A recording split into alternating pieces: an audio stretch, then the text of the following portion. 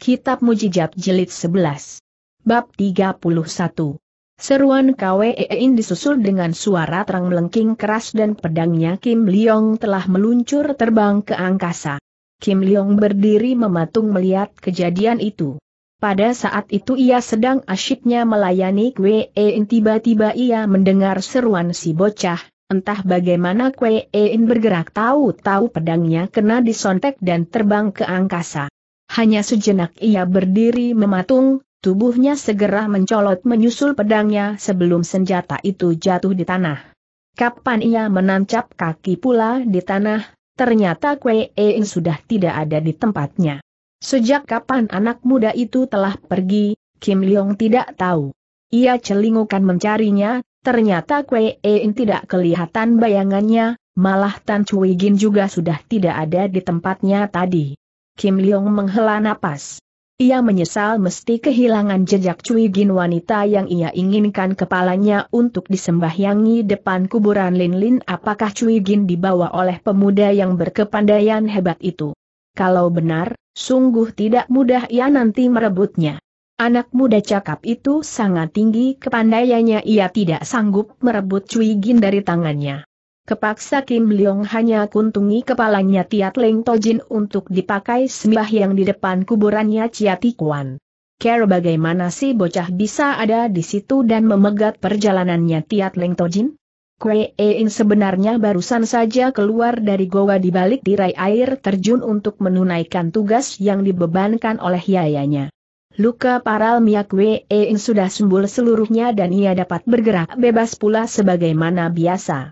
Ia dalam perjalanan ke Goa Ular Raksasa, untuk menaklukkan ular raksasa itu yang menurut kata yayanya ular itu belakangan ini telah banyak keluar dari goanya dan mengganas di sekitar tempat itu sehingga banyak binatang-binatang piaraan penduduk yang telah ditelannya dan juga ada beberapa penduduk yang hilang. Dan mungkin sekali telah ditelan juga oleh ular raksasa itu. Menurut yayanya, hanya ia yang dapat menaklukkan ular itu dan mengembalikan ke goanya pula, jangan membuat susah penduduk kampung, sekitarnya. Dalam perjalanan itu justru malam itu ia bertemu dengan Tiat Leng Tojin yang sedang membawa Cui Gin keluar dari Tong Hang Koan. Kiin menduga imam jahat itu tengah menggondol sesuatu yang tidak wajar, maka ia sudah tidak perkenankan orang berlalu dengan begitu saja hingga terjadilah pertempuran dan berkesudahan Tiat Leng Tojin mati koyol oleh tusukan ranting pohon. Kue Ein melihat barang yang dibawa oleh si imam adalah seorang gadis, hatinya yang lemah merasa kasihan. Ia tidak tahu kalau gadis yang dibawa Tiat Leng itu bukannya perawan, hanya wanita cabul yang sangat lihai. Kalau Kwe Ein mau sabar sedikit bicara dengan Kim Leong pasti ia tidak akan kejeblos menolongi orang. Memang benar Cui Gin telah ditolak oleh Kwe Ein. Ia dipondong dan dibawa terbang dengan ginkangnya yang luar biasa, yang tidak mudah dapat dilihat oleh Kim Leong.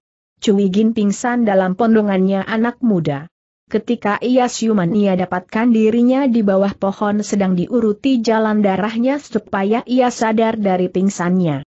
Cui Gin badannya memang sudah lemah, beberapa malam ia telah melayani Tiat Leng Tojin dalam kamar. Rahasia dari kuil Tong Hang Koan, boleh dikatakan tenaganya sudah habis-habisan diperas. Ia sudah sangat lemah, untuk bicara saja rasanya susah. Cui Gin parasnya memang cantik. Usianya pun baru meningkat 19 tahun, boleh dikata sebaya dengan Eng Lian, maka Kwe In pandang ia sebagai gadis yang hampir menjadi korbannya orang jahat, ia diam-diam bersyukur sudah dapat menyelamatkan si gadis dari bahaya diganggu kehormatannya oleh si imam busuk. Itu adalah pikiran dari hati kecilnya Kwe In yang masih cetek pengalamannya soal wanita. Kue telah keluarkan obat pilnya yang mustajab dan diberikan pada Cui Gin untuk menelannya. Cui Gin terima itu dengan perasaan terima kasih, namun ia tidak mampu mengeluarkan perkataannya. Hanya matanya saja yang menatap wajah Kue yang cakap, dengan sorot yang sangat bersyukur sekali. Enci, hampir saja kau celaka di tangannya si imam busuk, kalau tidak keburu aku datang. Juga si tangan buntung itu pasti bukan orang baik-baik dan hendak mencelakaimu. Dengan berada di sampingku, kau jangan takut, tidak seorang yang berani mengganggu selembar rambutmu. Cui Gin bersenyum manis, hingga Kwe In yang melihatnya nyengir ketawa. Ketawanya mirip-mirip pencilian, Kwe In menggumam dalam hatinya. Cui Gin meskipun usianya belum masuk 20 tahun ia sudah matang betul, ia menduga kini ia berhadapan dengan pemuda masih tolol, pikirnya ia akan mempengaruhinya dan bikin si pemuda percaya bahwa dirinya masih suci. Tidak lama, setelah Cui Gin menelan pilnya Kue In yang mujarab, ia rasakan perlahan-lahan kembali tenaganya meskipun tidak seanteroya. Ia dapat membuka suara dan menanya, adik, kau siapa begitu baik telah menolong aku? Aku Shikwe, eh nama ia, aku sedang menjalankan perintah yayaku. Malam buta seperti sekarang ini, apa kita tak takut berduaan di pegunungan ini? Apa yang ditakuti sahut Kue En? Kau kelihatannya masih lemah, tidurlah enci. Aku dingin, adik in, sahut Cui Gin, tubuhnya menyusul menggigil. Kue En kasihan. Lalu ia membuka jubahnya dan dipakaikan pada tubuh Cui Gin, setelah mana dengan perlahan-lahan larbahkan si Nona di atas rumput dan disuruh tidur. Ia sendiri telah memanjat pohon dan tidur di atasnya. Malam itu mana Cui Gin bisa tidur. Selain ia merasa kedinginan tidur malam di pegunungan yang baru pernah ia alami, ia juga merenungkan akan nasibnya di hari kemudian bagaimana. Goan Kiai sudah tidak kelihatan mata hidungnya, sedang pemuda itu justru yang ia harapkan bakal menjadi pelindungnya sampai tua. Cia Tikuan sudah mati, orang yang pernah menyayangi dan mencintainya. Ia menyesal sudah melakukan perbuatan yang nyeleweng, kalau tidak ia masih menjadi nyonya tikuan yang hidup senang tidak kekurangan apa-apa. Tapi, beras sudah menjadi babur, hendak menyesal pun tidak berguna. Sekarang yang ia harus pikirkan adalah nasibnya sekarang dan kemudian. Di mana ia dapat melindungi dirinya? Satu-satunya jalan ia pulang ke rumah orang tuanya, di sana ia masih dapat tinggal di rumah mewah pengasih Ciatikuan, namun bagaimana ia membiayai rumah tangganya? Dalam merenungkan nasibnya, tiba-tiba ia diserang ngantuk juga dan tahu-tahu ia sudah pulas. Baru ia mendusin di waktu Kue Ein menggoyang-goyang tubuhnya dan ia cepat bangkit duduk, ia lihat hari sudah terang dan sebentar lagi matahari juga akan muncul di balik ganung. Cui Gin rasakan keadaan di pegunungan seperti itu sangat nyaman dan menyegarkan badannya yang beberapa hari belakangan sangat lesu dan pada ngilu. Itulah berkat obat pilnya Kue Eing yang mujarab. Ia melirik pada Kue Eing yang sedang mengunyah buah. Kan makan sendiri saja, engko integur Cui Gin sambil lirik matanya. Kue Eing terkejut. Itulah untuk pertama kali gadis memanggil ia engko, kakak.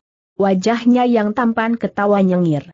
Mempesonakan hatinya Cuigin ketawanya Kue En.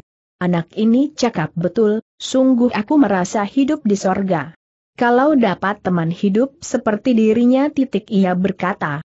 Dalam hatinya sendiri, seraya matanya menatap pada Kue En. Enci, kau umur berapa sekarang Kue En menanya tiba-tiba. Tahun ini aku berumur 9 BAS tahun dan kau engko balik menanya Gin. Mungkin aku tua beberapa bulan saja, Kue Ein membohong. Kue Ein membohong bukannya apa-apa, ia memang merindukan panggilan engko, kalau ia bicara terus terang bahwa usianya 18 tahun, pasti si Nona akan memanggil ia adik In lagi. Ia senang dengan panggilan engko In, terpaksa ia membohong. Kalau begitu tepat panggilanku engko, kata Cuigin ketawa mesem. Kue Ein ketawa, tapi ia merasa jengah telah membohongi wanita di depannya, tidak heran kalau wajahnya agak kemerahan lantaran jengah. Sebelum si bocah membuka mulut, Cuigin sudah berkata pula, aku Cuigin Sultan, harap engko in panggil namaku saja Cuigim untuk memudahkan kita bercakap-cakap. Baiklah adik Gin, nah ini makanlah titik kata si bocah, seraya mengangsurkan tiga biji buah, yang ia petik tadi pagi. Terima kasih, sahut Cui Gin, seraya menyambuti dan dimakannya. Ia asakan buah itu sangat lezat dan manis, maka Cui Gin sudah sikat habis tiga buah itu. Kue In melihat Cui Gin lahap benar makan buahnya, maka ia menawarkan pula. Cui Gin mengucapkan terima kasih, sambil menjemput dua buah lagi dan dengan perlahan sekarang dimakannya. Tiba-tiba Cui Gin hentikan mengunyah buahnya dan bengong sejenak. Kau kenapa, adik Gin tanya Kue In. Aku kepingin mandi, cuma kakiku rasanya lemas sekali, jawab Cui Gin. Apa kau tidak bisa jalan Kue In menanya heran. Jalan bisa, cuma sekarang rasanya lemas untuk jalan. Mencari sungai mandi. Kue In kerutkan alisnya, seperti berpikir. Apa kau tidak keberatan kalau aku minta tolong kau, Engko In? Kue In tidak menyahut, ia hanya menatap wajah si Nona.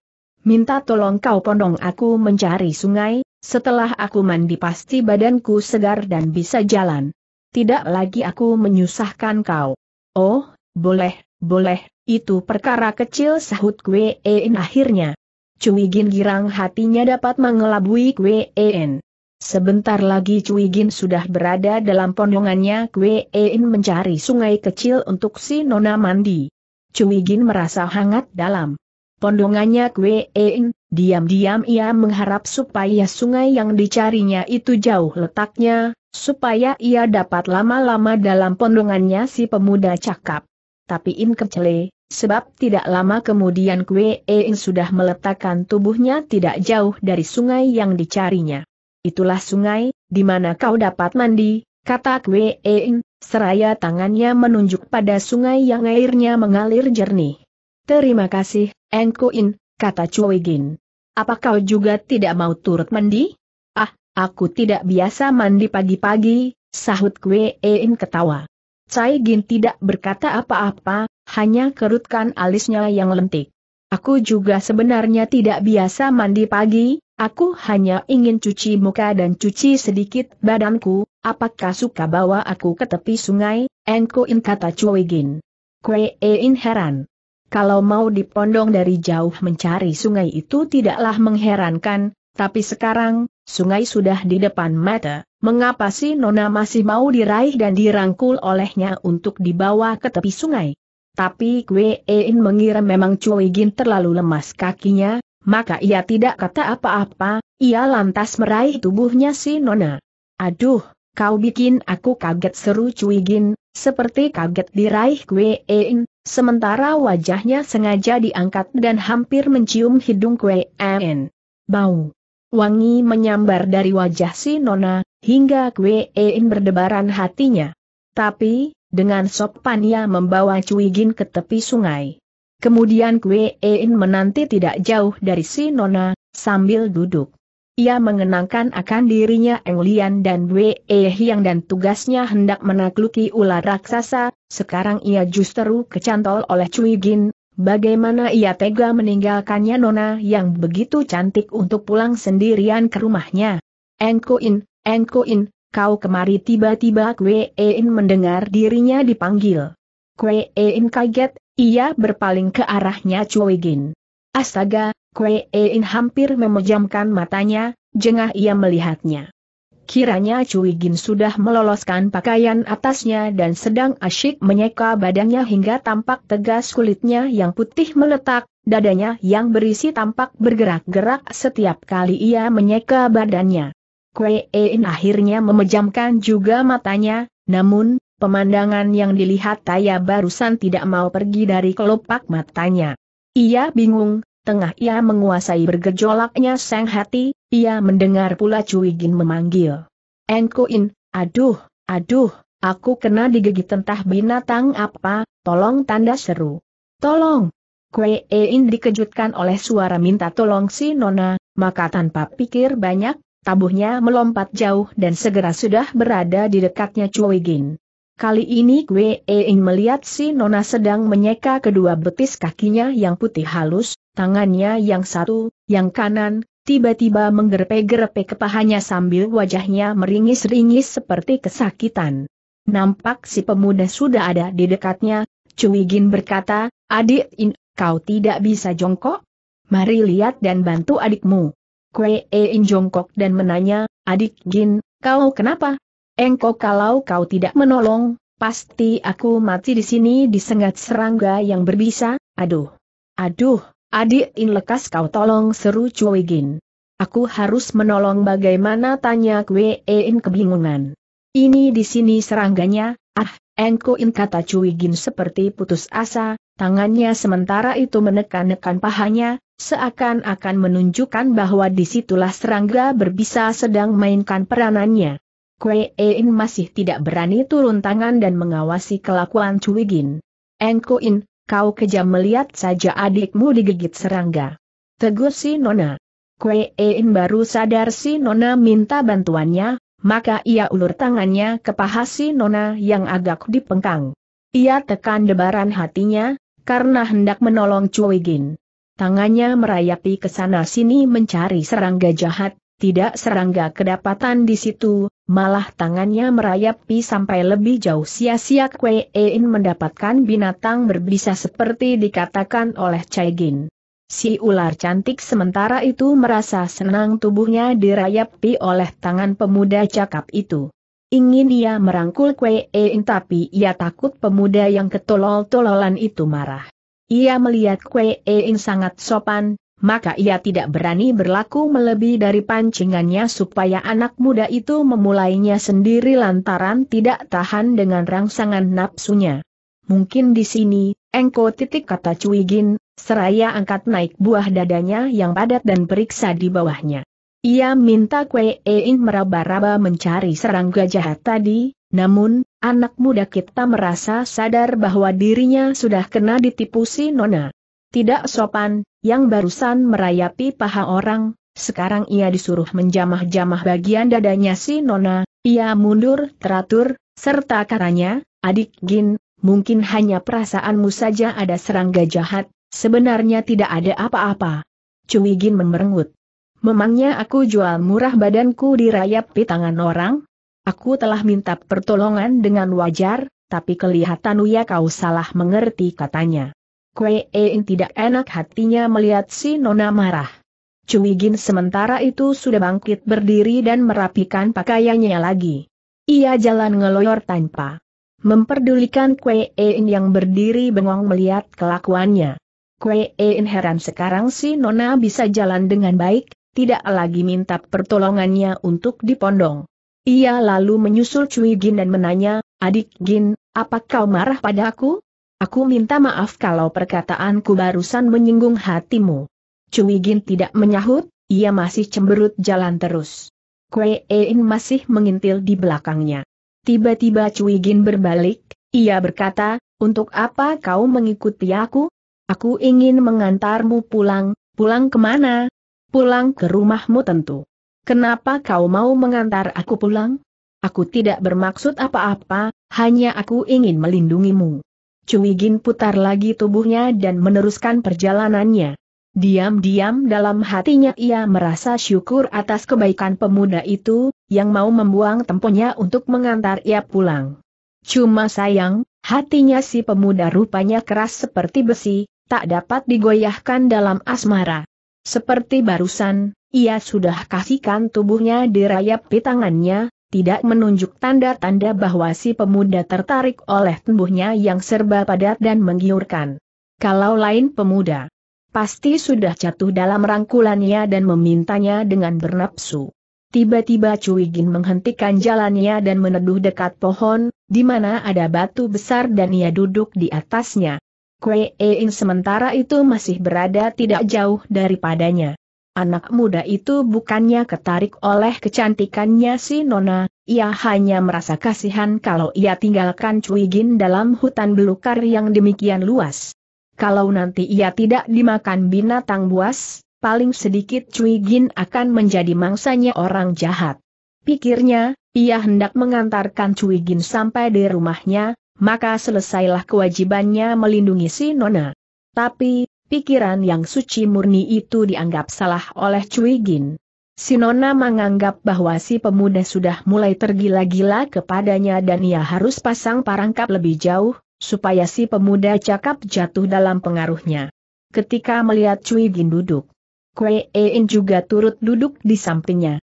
Tiba-tiba Cui Gin berkaca-kaca matanya menangis, entah apa yang disedihkan olehnya.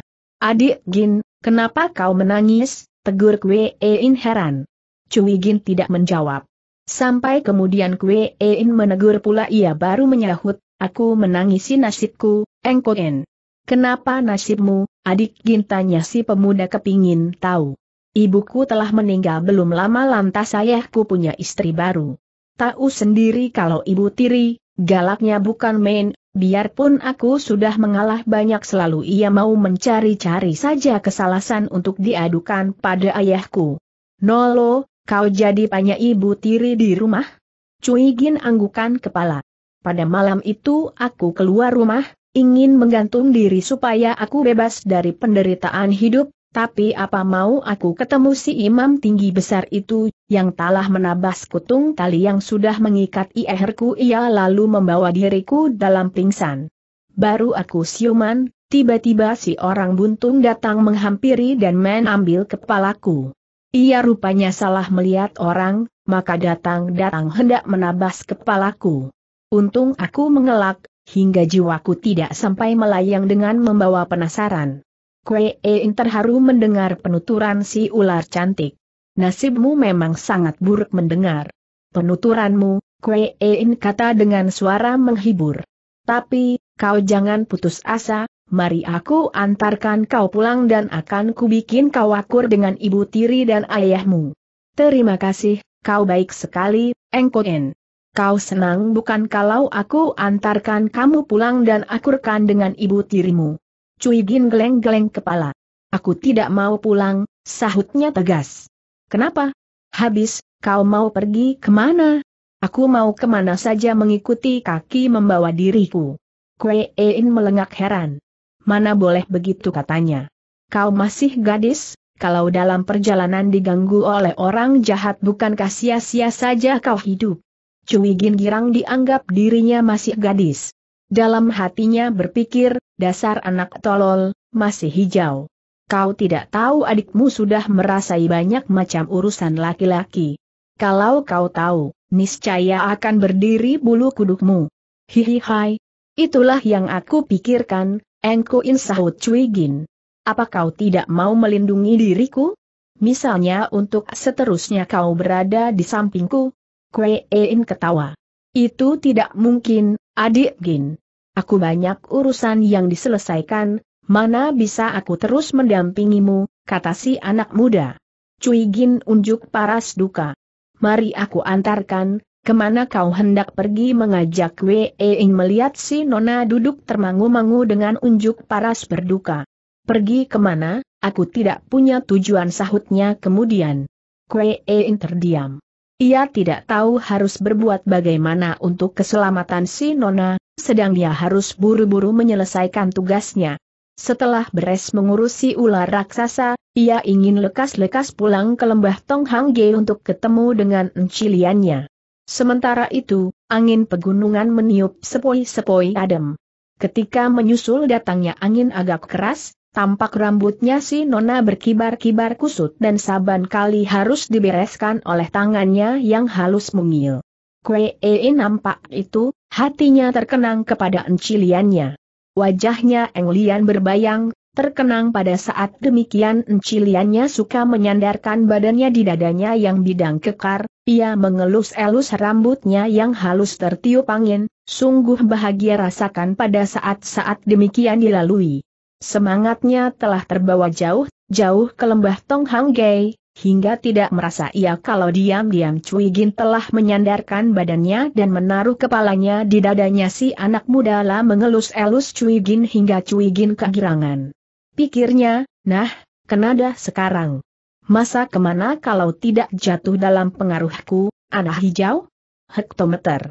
Lihat, kau sudah mengelus-elus rambutku, tandanya kau sudah kepincuk oleh kecantikanku, ah, kau. Sambil berpikir demikian, Cui Gin pegang tangannya si anak muda yang satu dan ditaruh di atas dadanya yang sedang naik turun menekan perasaan hatinya yang berdebaran. Hatinya melonjak kegirangan, apabila Kue In tangannya tiba-tiba meremas-remas buah dadanya dan ia membiarkan untuk menjadi permainannya tangan nakal. Napasnya Cui Gin memburu lebih cepat, ia kewalahan rupanya menekan nafsunya, sebab lantas ia mengangkat mukanya dan menatap wajah Kwe Ing yang sedang kehilangan semangatlah berkata dengan suara parau, Engko In, oh, kau, Engko In, seraya memegang tangannya si anak muda yang masih meremas-remas dadanya. Pada saat itulah Kwe In tersadar. Ia mendengar suara yang memanggil Engko In, bukannya adik In, ia dikejutkan oleh panggilan itu.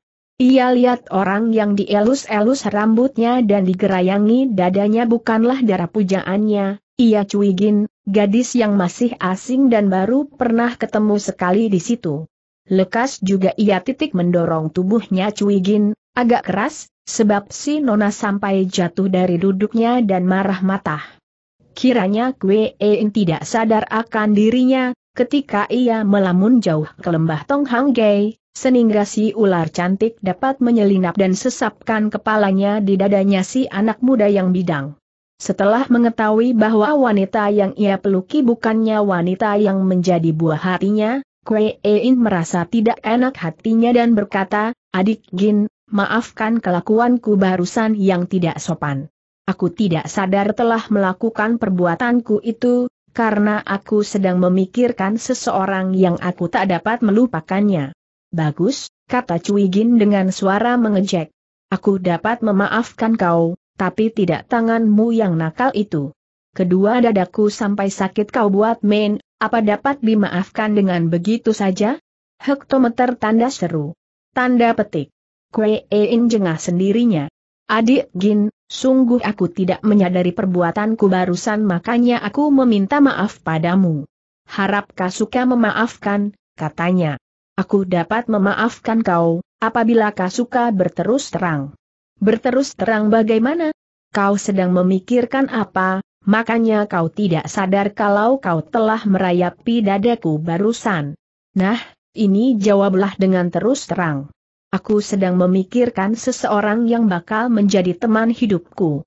Bagus, kau sudah punya teman untuk kawan hidupmu. Itulah, makanya perbuatanku tak kusadari saking asyiknya aku melamun. Kenapa kau tidak memikirkan juga hidupku di kemudian hari? Kue Ein melengak teran. Kau maksudkan apa tanyanya kepingin tahu. Kau sudah menyentuh tubuhku, apa boleh dengan begitu saja kau melupakan diriku? Kue E jadi kebingungan. Pikirnya, Wei Yang dan Eng Lian masih belum ketentuan, sekarang ada lagi seorang gadis yang mengadu biru ingin dipertanggungjawabkan hidupnya di kemudian hari. Mana aku bisa terima?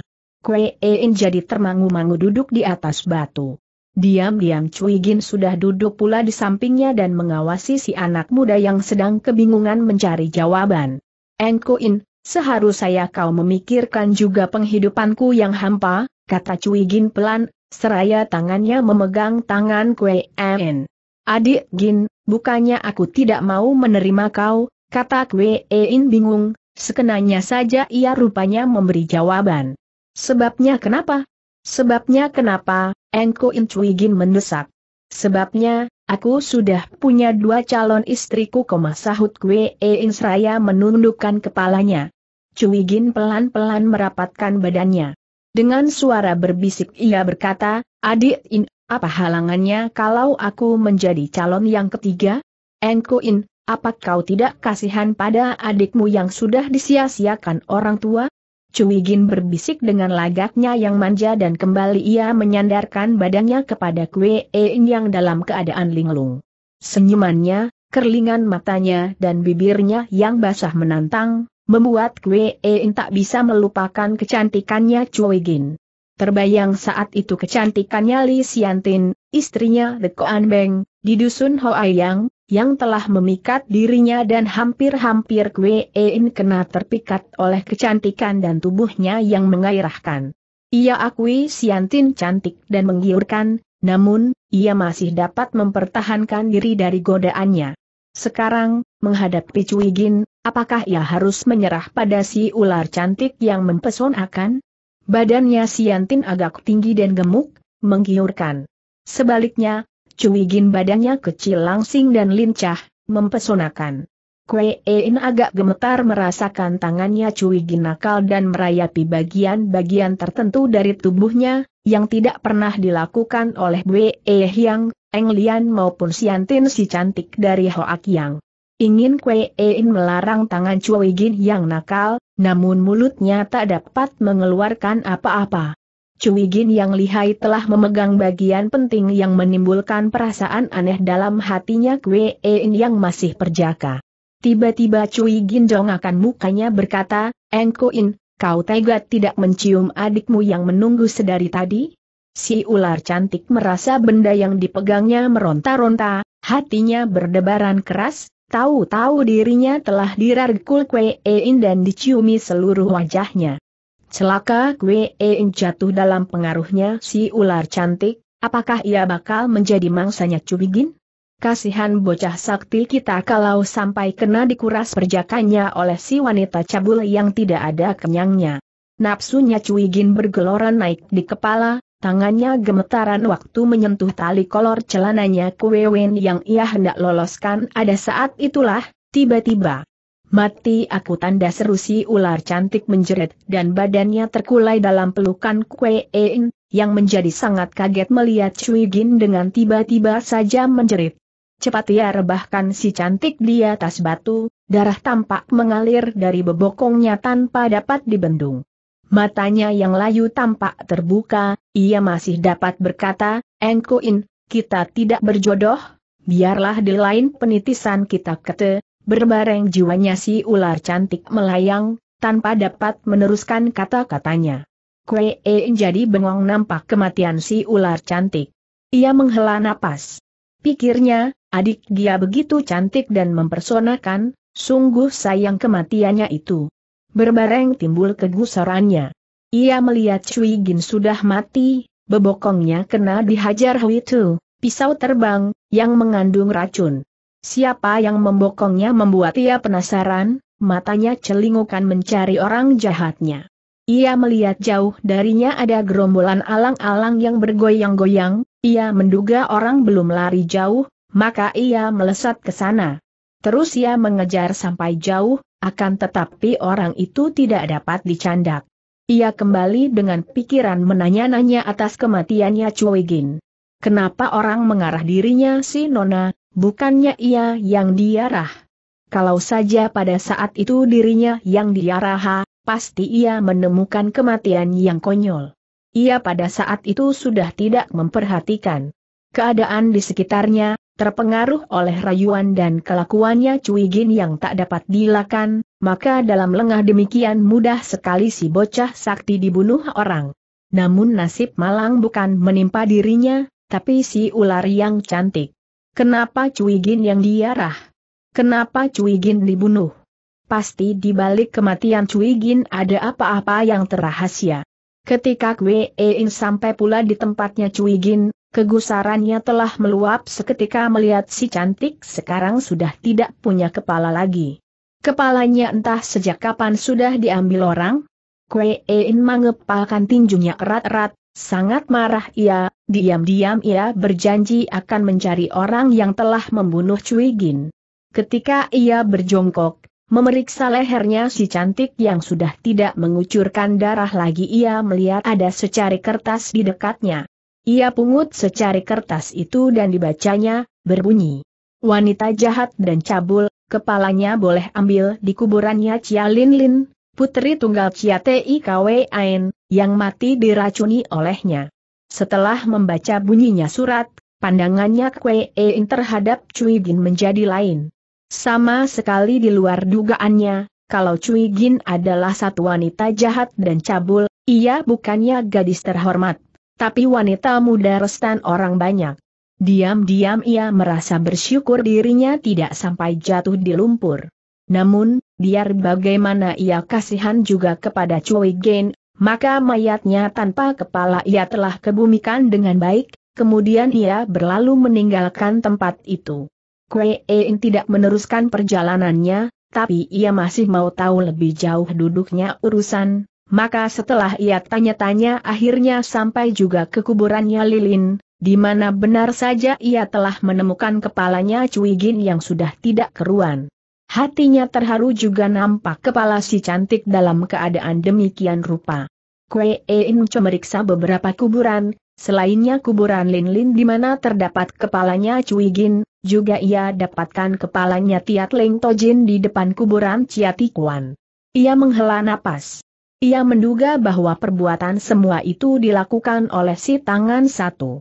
Entah namanya si buntung itu, siapa, ia menyesal waktu bertempur kelupaan menanyakan namanya, untuk memudahkan ia mencarinya dan menanyakan lebih jauh halnya Cui Gin dan Tiat Leng Tojin, sehingga kepalanya dijadikan barang sembahyang di kuburannya Lin Lin dan Chia Kuan. Tapi Kwe In tak usah mencari Kim Leong, sebab segera ia mendapat tahu lebih jauh duduknya perkara, ketika dia mau melangkah pergi, tiba-tiba dicegat oleh seorang kacung yang menyerahkan sepucuk surat kepadanya. Ia menanyakan surat itu dari siapa, tapi si kacung tak dapat menerangkan dari siapa, hanya ia melukiskan orangnya dan tangannya satu buntung. Kue Ein angguk-anggukan kepalanya dan lalu merobek amplop dan membaca isinya surat. Sahabat baik. Aku menyesal, ketika kita bertemu, kau tidak memberi ketika sama sekali untuk aku menerangkan siapa cuy di wanita cabul itu. Ia mula-mula adalah PI Ayan Nyonya Tikuan, kemudian ia bergendak dengan Tikuan dan mengandunglah diusir oleh Nyonya Tikuan, tapi Tikuan masih piara terus, hingga Nyonya Tikuan kemudian mati kejengkelan. Cui Gin dijadikan gantinya Nyonya Tikuan, ia tidak puas dan bergedak dengan Chia Goan Kie. Merasa kurang merdeka, Cui Gin telah meracuni puterinya Tikuan, ialah Lin Lin belakangan Tikuan dapat tahu perbuatan mereka, lalu menangkapnya dan ditahan. Mereka ditolong oleh Tiat Leng yang menjadi garunya Gon Kie. Untuk balas jasa, Goan Kie pinjamkan Cui Gin untuk kesenangannya Tiat Leng Tojin, kemudian dipinjamkan pada Cheng Cheng Tojin, kepala dari kuil Tong Hang Koan. Cui Gin adalah wanita sangat cabul, apakah ia ada harganya untuk kau lindungi, sahahat? Cobalah kau renungkan. Di depan kau ia berlagak seperti wanita masih gadis, hingga kau terpincuk. Untung keburu aku datang, tidak sampai kau ikut-ikutan kena lumpur. Aku mengambil kepalanya adalah untuk disembahyangi depan kuburan Lin Lin yang telah ia racuni sehingga mati. Tiat Leng adalah pembunuh Ciati Kuan, maka juga kepalanya aku sembahyangi di depan kuburannya Tikuan. Ini adalah penjelasanku. Terserah padamu. Kau bikin habis urusan Cui Gin atau kau mau mencari balas untuknya, aku bersedia untuk melayanimu lagi. Tan Kim Leong. Membaca suratnya Kim Leong, Kwe Ein merasa muak terhadap Cui Gin, si cantik yang hampir-hampir menjerumuskan ia ke dalam lumpur. Ia percaya Kim Leong telah menulis dengan sejujurnya, maka ia tidak perlu mencari tahu banyak halnya Choi Gin. Kwe Ein sama sekali tidak memikirkan menuntut balas untuk si wanita cabul. Ia terus melanjutkan perjalanannya ke Goa Lar untuk memenuhkan perintah dari gurunya. Bab 32 Sin Atong Goa Ular Sakti atau Sin Atong letaknya di lembah Sian Jin Gui, Jurang Dewa, sebenarnya terletak jauh dari kampung-kampung di sekitarnya, namun masih juga penduduk sekitarnya telah mendapat gangguan dari ular raksasa itu. Rupanya ular raksasa itu, yang besarnya seperti gulungan kasur dan matanya seperti lampu bateri, usianya sudah lebih dari 200 tahun dan sudah jadi setengah siluman kalau belum jadi siluman asli. Cayarannya ular raksasa itu mengganas, bukannya masuk dari satu ke lain kampung, ia telah memunculkan dirinya dalam impian dari kepala kampung, ia minta sajikan beberapa ekor binatang seperti ayam, kambing sampai pada sampi dan kerbau. Kue Ein heran ketika mendapat keterangan halnya ular raksasa itu, sebab menurut anggapannya ular itu sedang bertapa dan tidak memakan barang berjiwa, ia hanya setempo keliwat lapar, suka makan berbuahan saja. Dalam ragu-ragu Kue Ein melakukan penyelidikan. Binatang-binatang sajian orang letakkan di luar.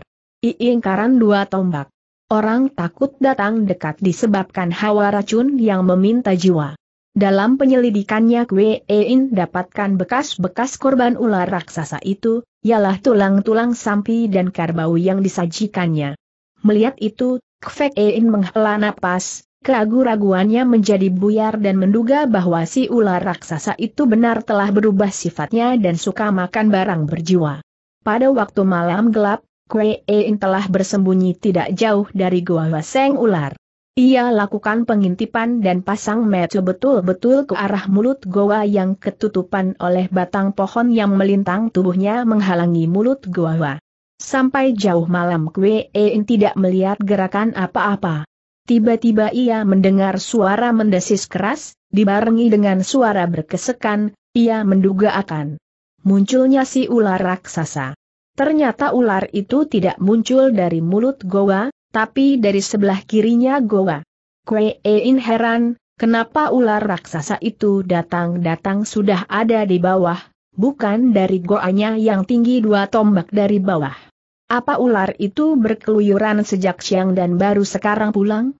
Kapan ular itu muncul? Kue In melihat ular itu tidak mendekati goanya, sebaliknya ia jalan mengitar menghampiri barang sajiannya. Kue In kira kambing yang disediakan di situ, tapi ia terkejut kapan mendengar teriakan ketakutan dari seng korban, itulah teriakan dari anak manusia.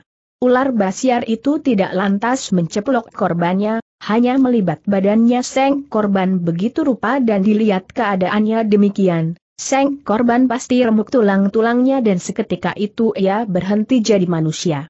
Tapi, untuk keheranannya Kwe In, yang saat itu sudah berdiri dan hendak menolongi Seng korban, ia mendengar korban itu berkata, kau adalah ular jahat. Kau telah mengganas dan membuat susah penduduk sekitar kampung ini, pasti satu waktu kau mendapat hukuman dan mati dibunuh. Kau sekarang boleh menelan aku bulat-bulat, aku tidak takut. Kwe In melengak heran mendengar perkataan Seng korban. Ular itu melilit-lilit, Seng korban dipermainkan pergi datang, tapi ia tidak membunuh dan mencaplok Seng korban, hanya kedengaran suara mendesisnya yang aneh dan Seng korban kembali menjerit ketakutan, hanya jeritan kali ini perlahan, disusul oleh suara merintih samar-samar terbawa oleh angin malam yang meniup. Sepoi-sepoi masuk ke telinganya Kwe yang saat itu sudah siap menjejakkan kakinya akan menolong si korban ular. Namun, ia batalkan niatnya, kapan tiba-tiba ia mendengar Seng korban berkata lagi. Choaong, kau malam ini telah memaksa aku menjadi istrimu, aku harap selanjutnya kau tidak membuat susah lagi kepada penduduk sekitar kampung ini. Itulah suara halus dari seorang wanita, hingga Kwe In dibuat melengak keheranan. Kiranya malam itu yang dibuat sajian ular adalah seorang gadis pantesan ular besar itu telah melilit dan menggulung si gadis sedemikian rupa, yang menurut mestinya sudah remuk tulang-tulangnya, ternyata tidak apa-apa, kalau begitu Seng Ular sedang mempermainkan korbannya. Gadis itu telah keluarkan jeritan pelahan, disusul oleh rintihannya dan desisan aneh dari Seng Ular, kiranya mereka sedang bergulat sengit untuk menyampaikan kenikmatan yang alam berikan. Sekarang In baru sadar bahwa si Nona barusan telah diperkosa oleh Seng Ular Raksasa. Dari ucap katanya si Nona juga rela menjadi istrinya Seng Ular, maka bagi In tidak ada alasan untuk memisahkan mereka satu dengan lain. Ia menghela napas setelah menyaksikan adegan hebat itu. Tampak si gadis masih dalam lilitan Seng Ular.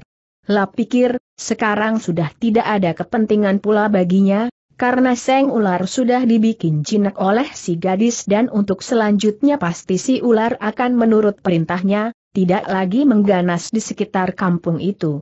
Baru saja ia hendak bertindak meninggalkan tempat itu, tiba-tiba ia melihat dari jurusan mulut goa ada kelihatan sorot terang. Ia terkejut, itulah mata ular raksasa dari dalam goa. Tapi kenapa ada ular yang hampir serupa dengannya dan barusan telah memperkosa seorang gadis manusia? Matanya Kwe In diarahkan kepada ular yang sedang melilit si gadis, ia lihat ternyata ular itu kulitnya kehitam-hitaman dan tidak mempunyai sisik indah dan sirip seperti dipunyai oleh ular raksasa penghuni goa. Kemudian pandangannya diarahkan pala kepada ular yang keluar dari mulut goa, yang telah menjatuhkan dirinya dari atas ke bawah dengan tidak mengeluarkan suara sedikit pun, ternyata ular itu pandai ilmu mengentengi tubuh. Kalau tidak mempunyai ginkang yang tinggi, menjatuhkan diri dari atas dua tombak itu pasti tubuhnya yang disambut oleh tanah bakal mengeluarkan suara buk yang keras. Sebentar lagi ular itu menghampiri pada ular yang dinamakan Choaong, Raja Ular, oleh si gadis. Cepat Kwe Ein merubah pandangannya ke arah si Raja Ular, tapi alangkah kagetnya, sebab Raja Ular itu ternyata sudah tidak ada di tempatnya berikut si gadis. Ia heran, entah sejak kapan ular itu telah melarikan diri melihat kedatatagannya ular raksasa dari dalam gua. Tampak ular itu seperti marah-marah melihat lawannya sudah kabur, itu kelihatan dari ekornya yang disabatkan. Pergi datang dan mendesis keras luar biasa. Desisan hebat itu seakan-akan menantang untuk ular yang membawa si gadis itu keluar bertempur dengannya. Lama ular itu dalam keadaan marah-marah dan melampiaskan kegusarannya dengan menyabatkan ekornya ke tanah atau ke pohon, sehingga menjadi tumbang karenanya. Kue Indam diam memuji tenaga Seng Ular yang hebat, dengan sekali sebat telah menumbangkan sebatang pohon yang ukuran tengahnya besar juga. Membedakan suara desisan ular lelaki tadi dan yang barusan keluar dari goa, Kue In mendapat kenyataan bahwa ular penghuni goa itu adalah ular perempuan, maka panggilannya Suheng, kakak laki-laki seperguruan, menjadi Sucie atau kakak perempuan dalam seperguruan. Di luar taunya Seng Suci, Kue Ein sudah mencelat jauh dan tahu-tahu sudah ada di mulut goa, menyusul terdengar suara seruling menggema di malam sunyi.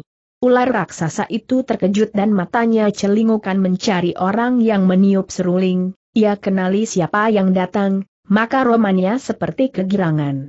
Hilang amarahnya seketika, sebagai gantinya ia berjoget mengikuti irama seruling yang ditiup oleh Kue En. Begitu suara seruling berhenti, tubuhnya ular yang besar itu melesat seperti terbang dan tahu-tahu sudah berada di mulut goa. Hebat mentengi tubuh ular besar itu. Cepat ia menggelesar masuk ke dalam goa, di mana ia lihat Kwe In sedang berlutut di depan kuburan suhunya, Kong In Sianjin. Suhu, Tecu datang menjenguk Suhu, harap Suhu di alam baka melihat kedatangan Tecu dan memberi banyak berkah dalam perjalanan Tecu selanjutnya titik.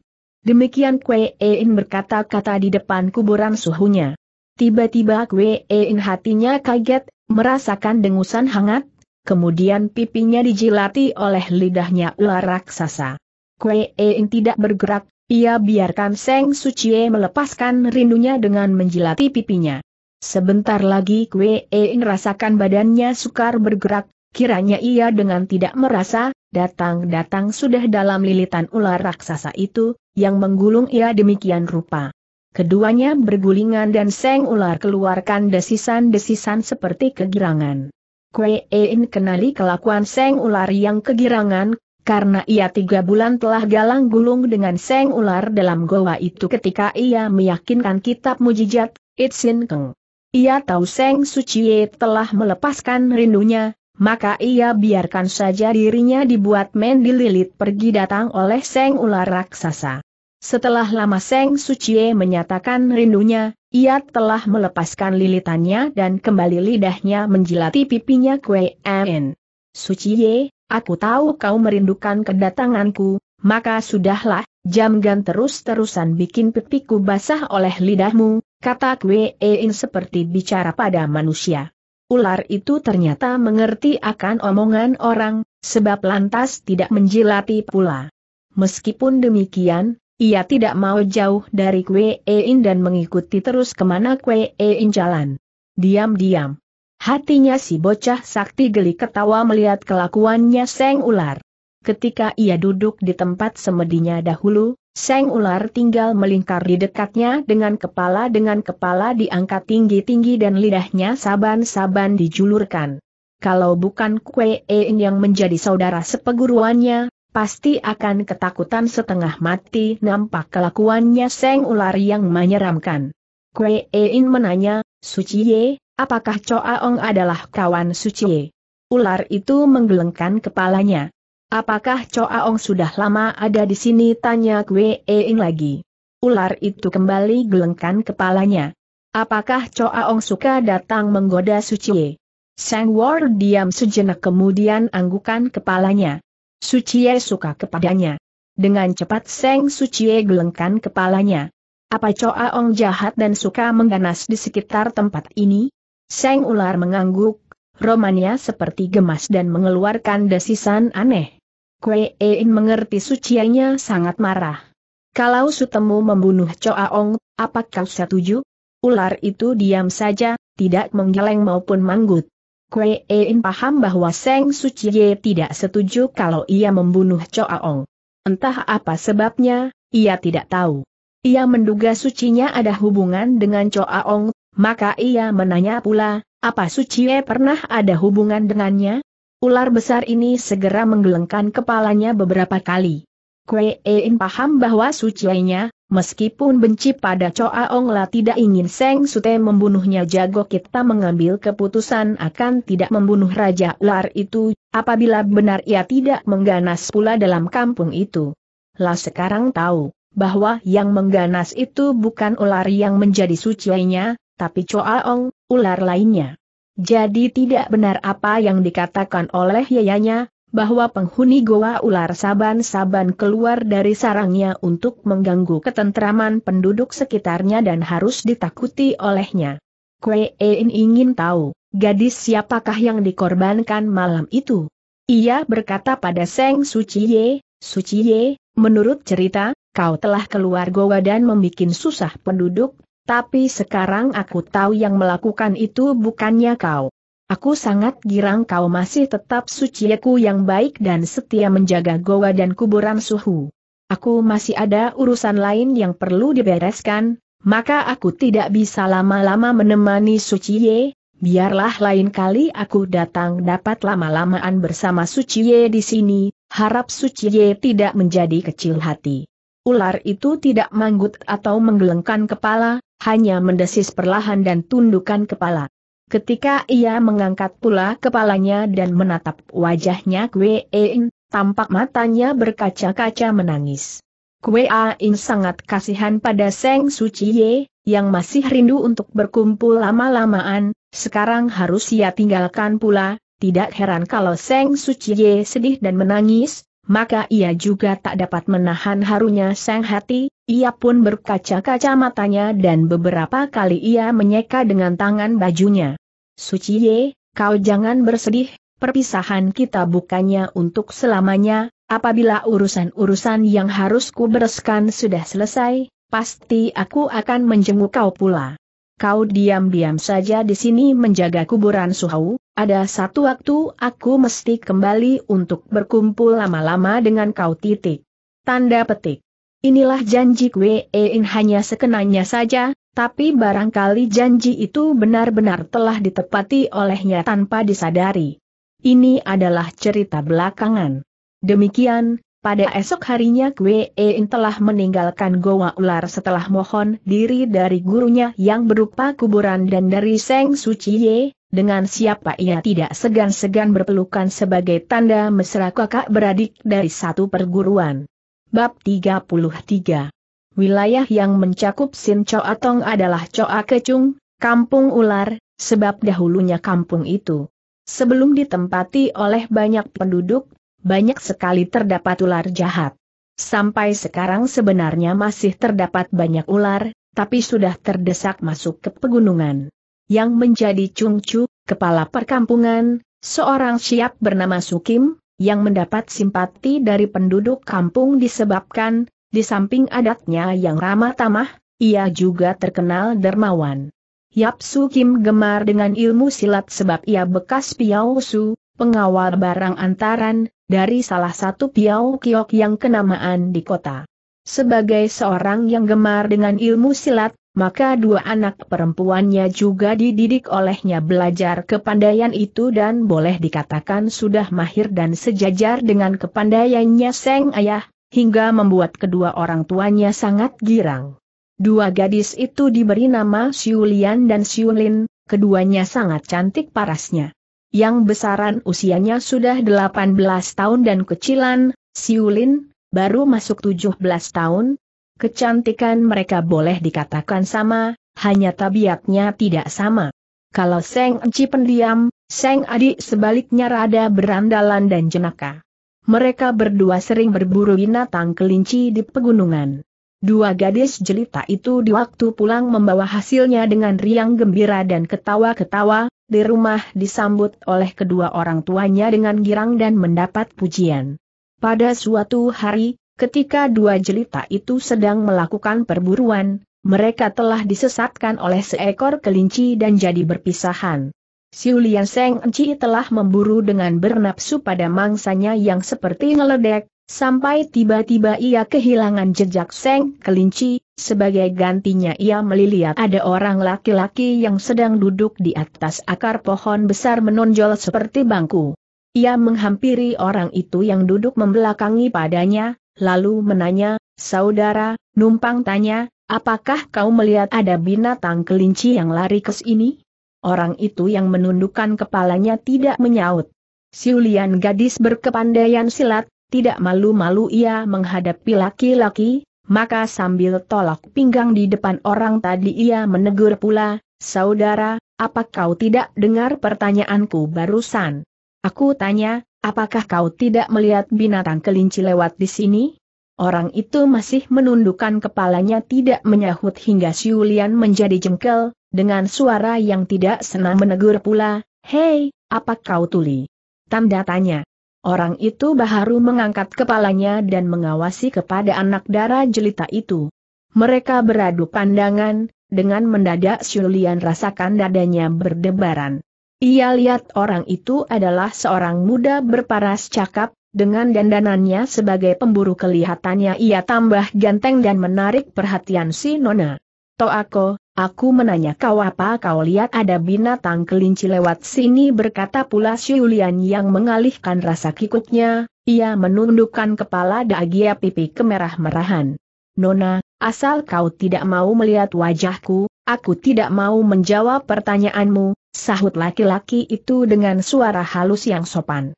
Sin Lian melengak heran atas perkataan orang, tapi toh ia mengangkat matanya dan mengawasi pada si pemuda cakap. Sinona hampir-hampir menundukkan lagi kepalanya. Saking jengah, melihat si pemuda tertawa ke arahnya, kalau tidak pemuda itu berkata, Nona, kau menanyakan Seng kelinci, memang benar ia ada lewat ke sini, tapi entahlah ia sudah mengumpet di mana. Toako, kau jangan mendusai aku, pasti binatang itu sudah kau tangkap dan diumpetkan, menuduh si Nona melihat orang ketawa-ketawa saja bicaranya. Nanti aku lihat, jawab anak muda itu seraya ia memutar tubuh dan dari dekat akar pohon itu keluarkan seekor kelinci berbulu putih dengan kedua kupingnya kehitain-hitaman.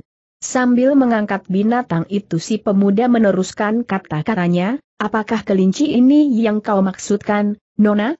Ya, benar, aku sudah duga kau yang umpetkan kata si Nona ketawa ngikik. Aku tidak merampas kelinci Nona, ini adalah kelinci yang sudah lama kupiara, tegasnya adalah piaraanku, kata pemuda cakap itu. Toako, kau jangan godai aku, sahut si Nona masih ketawa. Kelinci itu aku sudah uber-uber dari tempat jauh sampai ke sini, kalau kan mau serakai orang punya, betul-betul bikin aku sangat penasaran. Pemuda cakap itu ketawa. Kau akan penasaran, sebab kelinci ini tidak akan kukasihkan padamu. Kau mungkin salah lihat, Nona. Terhenti ketawanya Siulian, sebaliknya ia mulai jengkel. Kau mau serakai orang panya? Hektometer. Aku tidak akan keliru lihat, sebab kelinci itu aku tahu betul kedua kupingnya ada kehitam-hitaman, Sin Lian berkata jengke satu. Kalau kau paksa juga mau mengakui, terserah, tapi aku tak akan serahkan padamu kecuali kau menyebutkan namamu dan aku Yap Sin Lian, dan, dan apalagi tanda tanya desak Sin Lian. Pemuda Ita kembali ketawa. Dan, kau menjadi teman ngobrolku di sini. Siu Lian melengak. Ia tidak mengira anak muda itu dapat mengatakan isi hatinya belak-belakan. orang itu ingin mengetahui namanya, sudah ia sebutkan, lalu sekarang kepingin ditemani kongkow lagi oleh seorang gadis yang baru saja dikenalinya. Pikir si gadis, apa-apaan kau mau ditemani kongkow, sedang aku baru saja kenal denganmu. Bisa-bisa runyam kalau orang lihat aku duduk berduaan dengan kau orang asing. Meskipun begitu, In menyahut, to aku, aku tidak ada tempo temani kau. Lekas kau serahkan kelinci itu padaku, aku sudah mau pulang mencari adikku. Tanda petik. Pemuda itu bukannya menyerahkan seng kelinci, sebaliknya ia masukkan lagi binatang itu ke dalam lubang dari mana ia barusan tarik keluar. Kurang ajar kau mau main gila derganonamu bentaknya kesal, melihat seng kelinci dimasukkan pula ke dalam lubang. Ini adalah kelinciku, bagaimana kau bisa mengatakan aku main gila sahutnya. Makin jengkel hatinya si gadis. Sambil banting-banting kaki ia berkata lagi dengan aseran, kau mau serahkan tidak binatang itu padaku, kalau tidak, jangan sesalkan akan kuambil dengan kekerasan. Ambillah, kalau kau bisa ambil tantang ST pemuda cakap ketawa. Siulian wajahnya memberengut jengkel. Sebagai gadis yang pandai silat tidak mau Nia dihina orang, maka seketika itu ia menghampiri lebih dekat pada si pemuda yang tinggal tenang-tenang saja duduk di atas akar pohon. Sekonyong-konyong saja tangan Siulian diulur, maksudnya hendak menjamret baju di bagian pundak pemuda itu dan ditarik dari duduknya, kemudian dilemparkan, sedang dengan kesebatannya, ia dapat mengambil seng kelinci tadi dalam lubang lah sudah menghitung pasti dengan gerakan ini yang dinamai Hai Bun Natsu atau membuka pintu mengambil golok ia akan berhasil memuaskan. Siapa tahu, begitu tangannya yang lunak halus diulurkan, telah disambut dengan sebat sekali oleh si pemuda dan tahu-tahu si Nona sudah jatuh dalam pelukannya. Siulian gelagapan dan meronta-ronta melepaskan diri dari si pemuda cakap.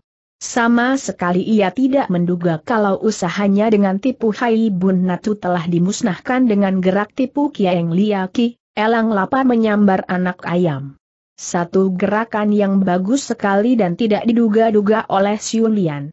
Orang kurang ajar, kau masih belum mau melepaskan nonamu bentak si nona, seraya meronta-ronta keras untuk melepaskan diri dari pelukan si pemuda tampan dari mau melepaskan malah pelukannya makin erat dan Siulian menjadi ketakutan ketika si pemuda cenderungkan kepalanya, hidungnya menekan hidungnya yang bangir dan bibirnya yang mungil telah dikecup berulang-ulang.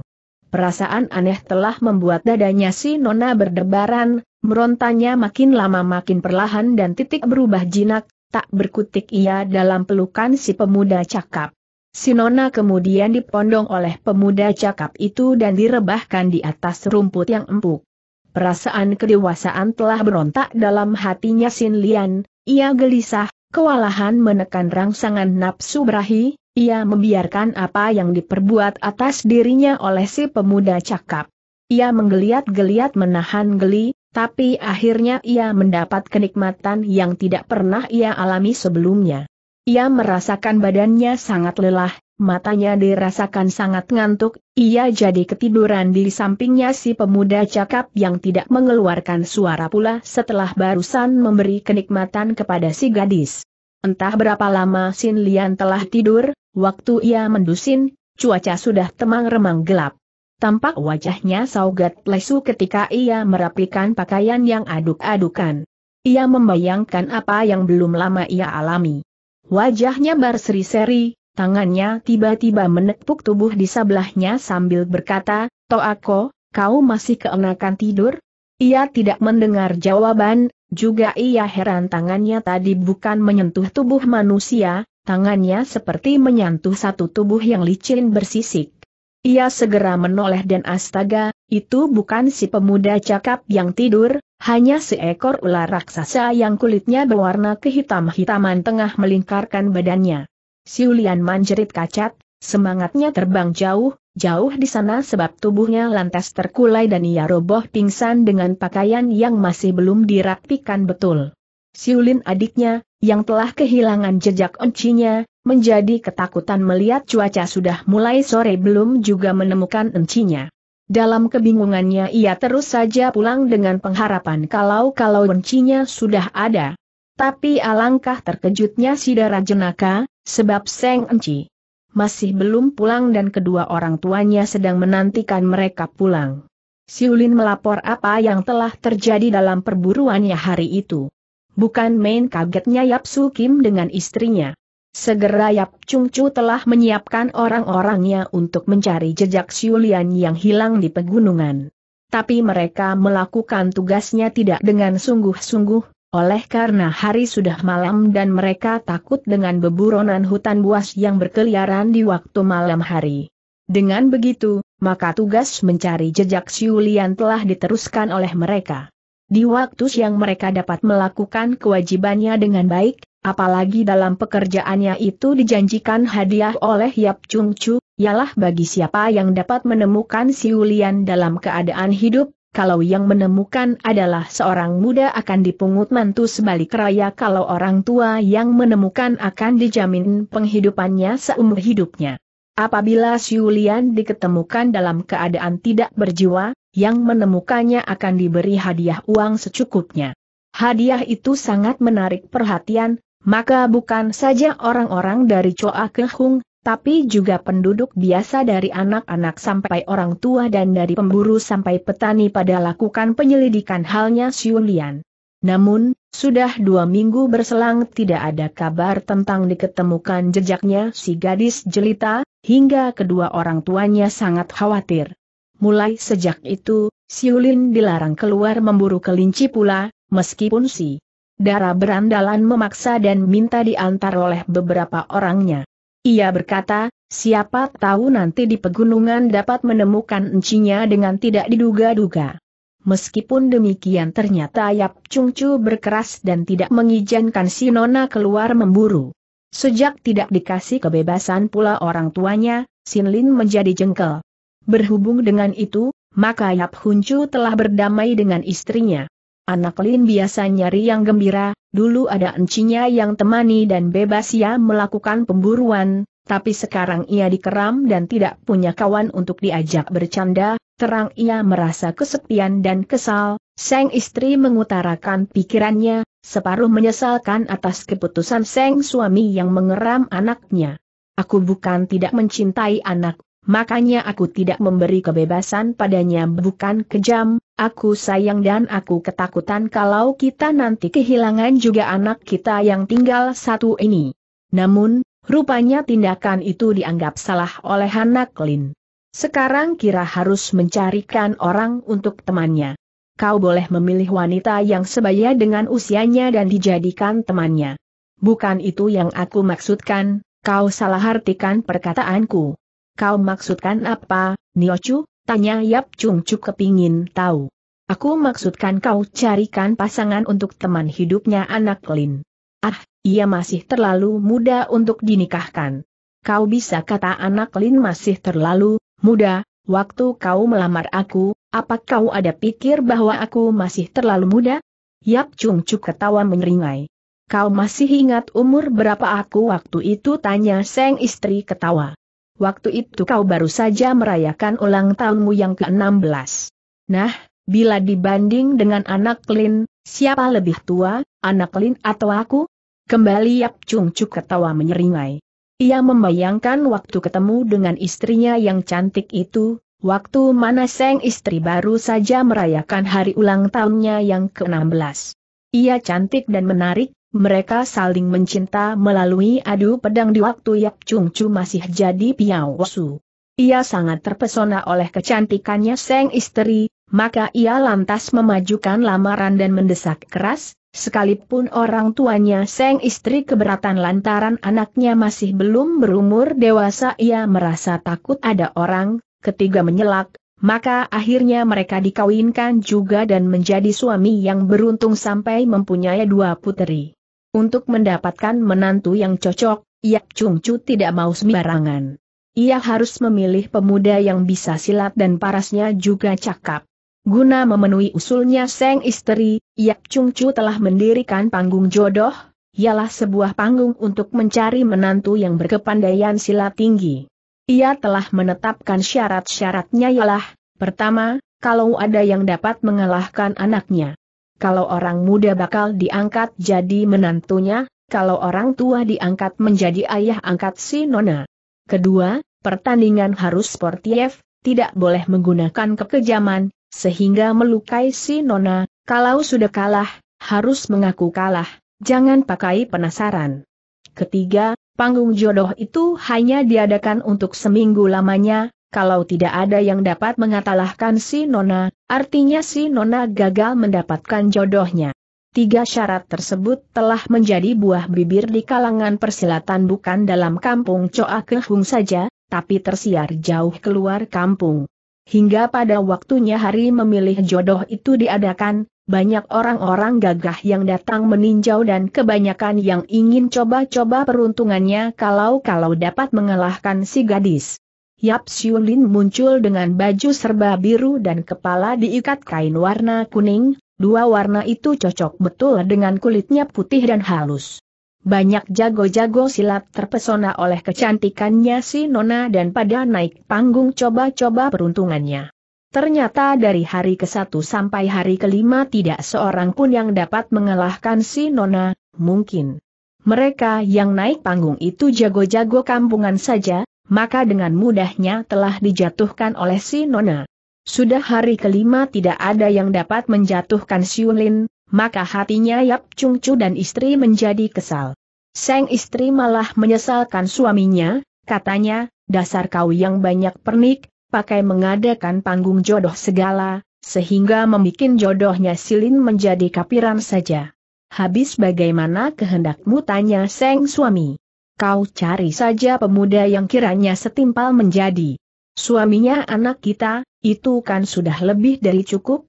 Mana bisa begitu, apa kau lupa dengan syaratmu dulu bahwa kau hanya mau menikah dengan pemuda yang dapat menandingi ilmu silatmu? Sekarang gilirannya Seng istri yang ketawa menyeringai. Ia ingat akan syaratnya yang mutlak itu, bahwa hanya pemuda yang dapat menandingi dengannya secara serius dapat menjadi suaminya. Ia ketemu dengan Yap Piao Su itu waktu dan mereka bertanding seru. Sebetulnya Yap Piao Su masih kalah seketik olehnya, namun, disebabkan Yap Piao Su cakap parasnya ia mengalah dan akhirnya mereka terangkap jodoh menjadi suami istri. Kau jangan lupa, kata Yap Chung Chu. Kalau jodohnya anak pelin pemuda yang begitu-begitu saja, aku khawatir hari kemudiannya mereka tidak bisa hidup beruntung. Kau tahu sendiri adatnya anak pelin yang suka unggul saja. Kalau ia mempunyai suami yang ilmu silatnya lebih rendah, pasti ia tidak senang dan memandang rendah. Sang istri tidak menjawab, sebab juga membetulkan apa yang dikatakan oleh suaminya itu. Tapi ia berkata lagi. Sekarang sudah lima hari panggung jodoh berjalan, kalau umpamanya pada hari keenam tidak ada yang dapat menjatuhkan silin, bagaimana kau akan mengambil tindakan? Kita toh tidak bisa diamkan saja hal jodohnya anak kita itu. Seperti yang kukatakan, ia bisa jadi gila karena tidak punya teman diajak bercanda seperti tempo hari masih ada encinya. Yap Chung Chu tidak menjawab. Ia termangu-mangu seperti sedang memikirkan. Ya, kita nanti lipat saja, akhirnya kata Yap Chung Chu. Kalau umpamanya besok gagal lagi anak Lin mendapat jodohnya, biar kita pikir lain jalan. Kalau sampai kepepet, apa boleh buat aku menyerah dengan pikiranmu yang mencarikan silin jodohnya yang dikira setimpal saja. Sang istri ketawakan suaminya yang keputusan akal. Iseng-iseng Nyonya Yap menanyakan pikirannya Seng anak sendiri, setelah ia habis berdamai dengan suaminya. Sin Lin menyatakan, aku ingin mendapat jodoh yang kepandaiannya setimpal denganku, ibu. Kalau kepandaiannya di bawah aku, mana aku bisa puas? Pemuda begitu nantinya akan mengalami hinaan saja dariku. Nyonya Yap mendengar perkataan anaknya, jadi ingat pada dirinya sendiri yang dulu juga pernah mengucapkan kata-kata demikian di hadapan dua orang tuanya. Dilihat adatnya Seng anak yang keras, Nyonya Yaprada putus asa juga untuk mencari jodohnya Seng Putri masih mengharap pada hari keenam besok, diam-diam ia berdoa agar anaknya mendapat jodohnya yang setimpal. Demikian, pada keesokan harinya, ialah hari yang keenam, tampak penonton sangat sedikit, jauh bedanya bila dibanding dengan hari-hari yang sudah-sudah. Rupanya orang yang masih kepingin tahu saja penghabisannya hati keenam itu, telah memerlukan datang menyaksikan. Beberapa pemuda dan orang tua yang naik ke atas panggung jodoh ternyata telah dikalahkan dengan mutlak oleh si gadis. Sin Lin tidak tahu, ia harus berbuat bagaimana dalam memilih jodohnya itu, sebab semua yang naik, parasnya tidak menarik hatinya. Makanya ia sudah jatuh-jatuhkan semuanya tanpa ampun. Demikian, lama tidak ada yang naik panggung, si Nona waktu itu sudah hendak masuk ke belakang panggung, Tiba-tiba ia kaget dan merandek melihat ada seorang muda yang lompat di atas panggung dengan ginkang yang hebat sekali. Sinona terpesona oleh kejadian itu, apalagi melihat parasnya orang yang baru naik panggung itu demikian cakap. Pemuda itu mengangkat tangannya bersoja, ia berkata, Nona, mungkin aku yang penghabisan yang dapat melayani kau, aku harap kau suka mengalah. Siulin tidak menyahut, ia masih terpesona oleh kecakapan para si pemuda. Pemuda itu ketawa ke arahnya, hingga dada si Nona berombak. Ia tidak takut kenapa dengan tiba-tiba saja hatinya bergejolak melihat senyumannya si anak muda. Nona, bagaimana, apakah suka mengasih kelonggaran padaku tanya pula pemuda itu. Mana bisa, mana bisa, sahut si Nona agak gugup pasti aku akan perlakukan kau juga seperti mereka yang telah naik panggung. Kau berlaku kejam nona, kata si pemuda, seraya gulung tangan bajunya dan pasang kuda-kuda. Mari, marilah kita mulai tantangnya kemudian. Yap Chung Chu melihat naiknya si pemuda cakap, hatinya sangat setuju sekali. Diam-diam ia mengharap anaknya nanti berlaku murah terhadap pemuda itu dan terangkaplah jodohnya yang setimpal. Si nona cantik dan si pemuda cakap, sungguh cocok sekali kalau mereka menjadi suami istri. Pertandingan sementara itu sudah dimulai. Ternyata pemuda itu selainnya berparas cakap, juga kepandaian Tia tidak rendah. Yap Siulin telah mengeluarkan jurus jaru saya yang hebat, tapi semua telah dielakkan oleh si pemuda, malah sering-sering ia berlaku gugup untuk mengelakkan serangan membalas dari si pemuda yang dilakukan dengan sekonyong-konyong. Sinona berkeringat melayani pemuda cakap itu, wajahnya merah kemalu-maluan, tapi tidak mengurangi serangannya yang hebat. Wajahnya Sinona kelihatan bertambah cantik lantaran perubahan itu. Kau sudah kape, apa kau tidak mau kasih kelonggaran untukku menjadi suamimu si pemuda berkata dengan agak ceriwis. Siulin jengah mendengar perkataan si pemuda, tapi ia tidak marah, malah ia bersenyum manis dan memikat. Kau lihat saja, sahut si gadis, suaranya perlahan. Si pemuda kegirangan mendengar perkataan si gadis, sebab itu merupakan janji si gadis, bakai mengalah padanya. Memang juga itu suatu janji, sebab si Nona tampak perlawanannya seperti kewalahan dan akhirnya ia kena digait kakinya dan tengkurap. Segera juga terdengar sorak ramai riuh rendah. Penonton tidak tahu kalau si Nona sudah mengalah, mereka hanya menganggap bahwa si Nona sudah kena batunya dan dirobohkan si pemuda yang setimpal betul bakal menjadi suaminya. Kesudahan itu bukan saja menggirangkan Siulin sendiri, tapi juga ibu dan ayahnya menjadi sangat puas. Ketika pemuda itu diajak bercakap-cakap telah mengaku si Choa nama satu huruf Ong. Choa Ong sangat ramah dan bisa membawa diri, hingga bakal mertuanya menjadi sangat senang dan puas terhadapnya. Perjodohan itu tidak menunggu lama.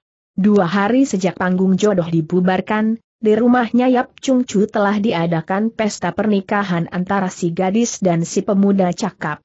Mereka merupakan sepasang mempelai. Yang setimpal betul, hingga rata-rata hadirin memujinya, hal mana membuat Yap Chung Chu menjadi girang dan bangga. Ketika sepasang pengantin masuk kamar, tamu-tamu juga mulai bubaran, dan pesta menjadi sepi. Menurut mestinya, malam itu kedua pengantin memadu kasih yang meluap-luap, namun kelihatan mereka pada membisu. Siulin rebah dengan kepala pusing, sehabis barusan muntah-muntah dan Choa Ong tidur di sebelahnya dengan hanya tangannya saja memeluki Siulin, karena si gadis menolak malam itu melakukan kewajiban suami istri, ia takut oleh karenanya penyakitnya bisa kepanjangan. Ia minta supaya Choa Ong bersabar, ia toh sudah menjadi istrinya, masih ada malam lain untuk menunaikan kewajiban suami istri.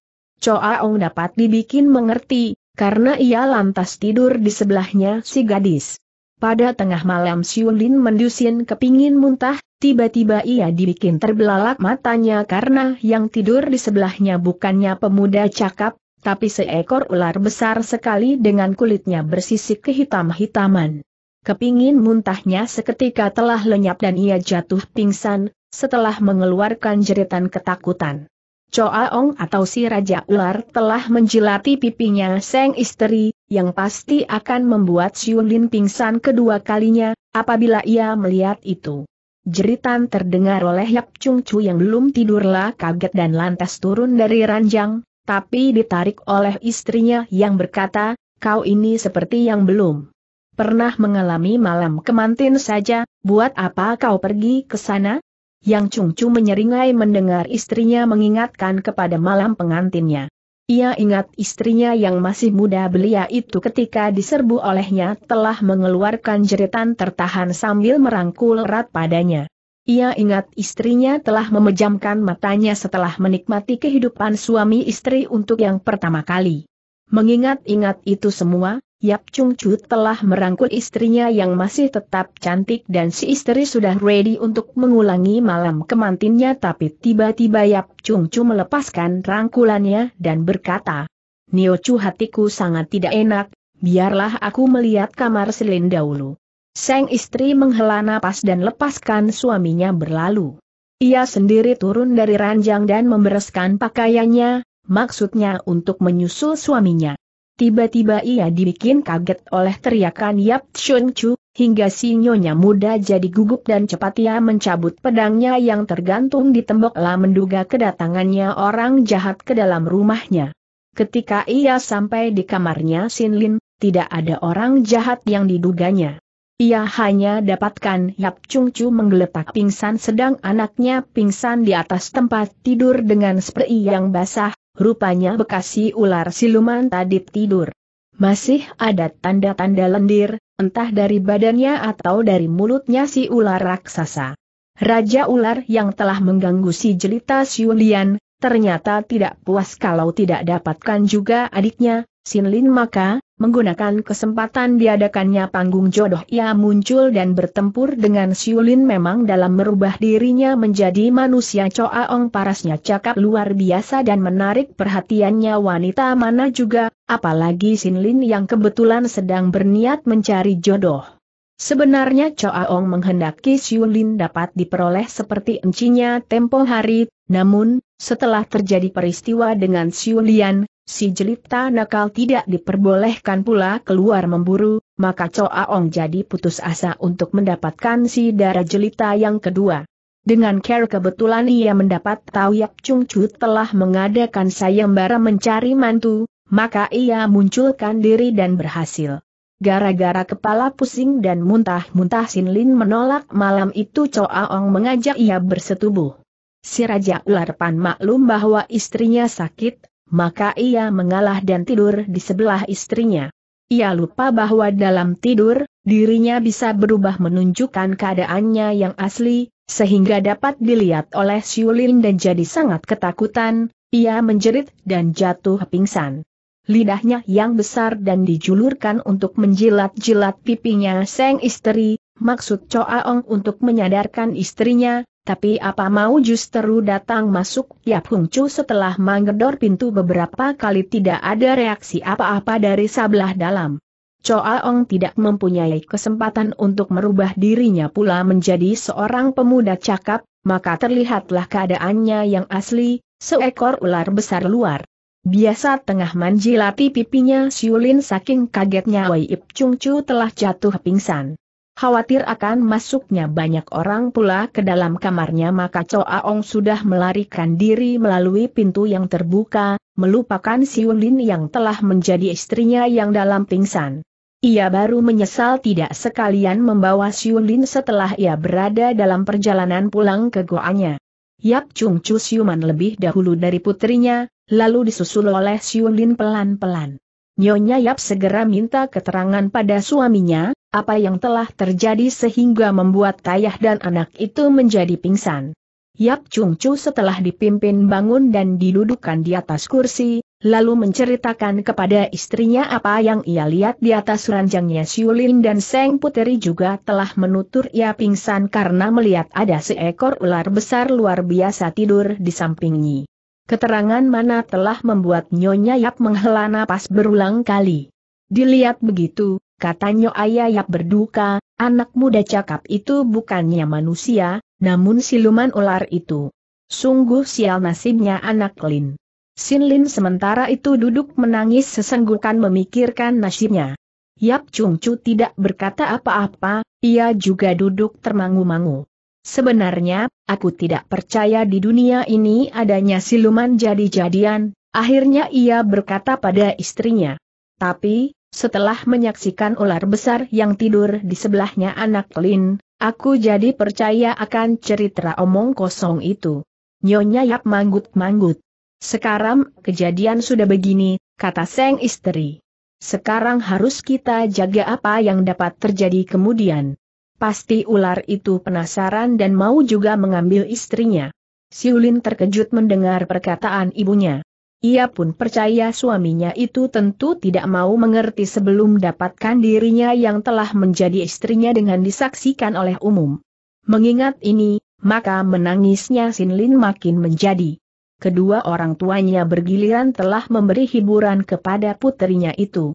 Eh, omong-omong tentang ular raksasa itu, Apakah tidak bisa jadi kalau anak kalian juga telah menjadi korbannya menanya Nyonya Yap dengan hati curiga. Bisa jadi, sahut Seng suami.